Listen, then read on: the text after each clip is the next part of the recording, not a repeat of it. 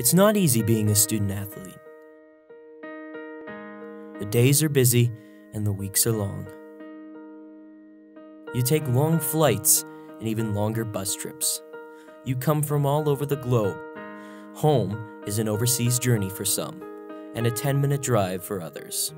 But nonetheless, throughout the season, MRU is your home.